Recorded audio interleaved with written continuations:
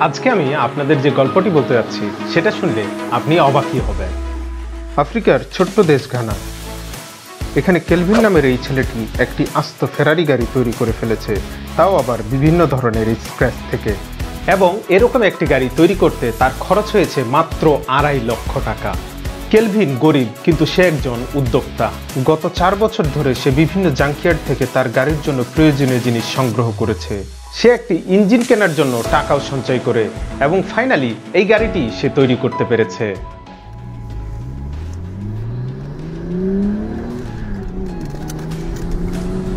এই গাড়িটি সর্বোচ্চ তিন হাজার হর্স পাওয়ার পর্যন্ত চলতে পারে। এই গাড়িতে সব রকমের সুবিধা আছে যা অন্য গাড়িগুলোতেও থাকে।